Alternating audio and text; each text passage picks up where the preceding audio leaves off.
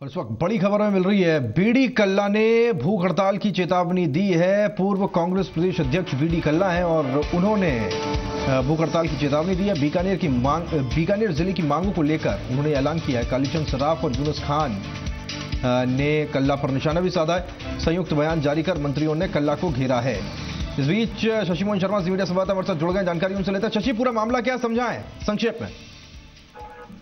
देखिए राहुल, बीकानेर की कई मांगे हैं। टेक्निकल यूनिवर्सिटी की मांग है। बीकानेर में जो रेलवे लाइन जाती है, उसको लेकर के रेलवे बाईपास बनाने की मांग है।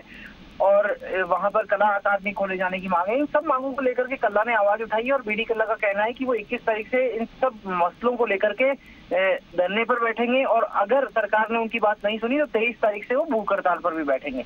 ऐसे में जो कल्ला ने ऐलान किया है उसके बाद में सरकार के मंत्री यूनुस खान और कालीचरण सर्राफ आगे आए हैं। दोनों ने एक संयुक्त बयान जारी करके कल्ला पर यह आरोप लगाया कि वो सस्ती लोकप्रियता हासिल करने की कोशिश कर रहे हैं।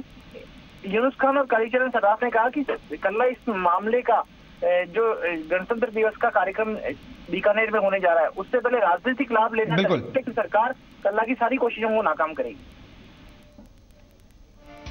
बिल्कुल सचिव शुक्रिया, आपके तमाम जानकारी के लिए। सचिव शर्मा जी मेरे संवाददाता जानकारी हम तक पहुँचा रहे थे।